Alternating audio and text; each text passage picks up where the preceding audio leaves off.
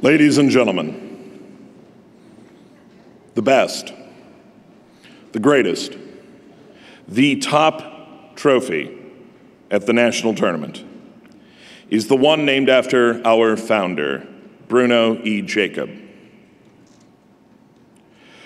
Bruno E. Jacob was the organization's founder and executive director for more than 40 years. The Pi Kappa Delta Bruno E. Jacob Trophy is awarded in his honor to the school that has earned the greatest number of cumulative rounds in main events at the national tournament.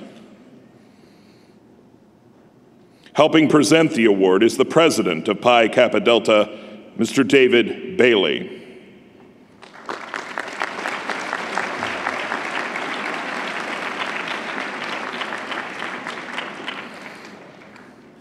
The trophy is endowed by Bruno E. Jacobs College Speech Society, Pi Kappa Delta. And now, please join Board President Mr. Don Crabtree in congratulating this year's recipient.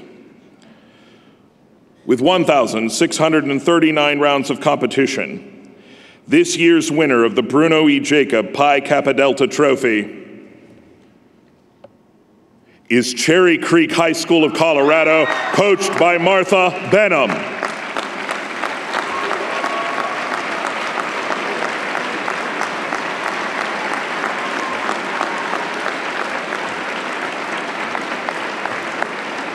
Scott's presenting the band names.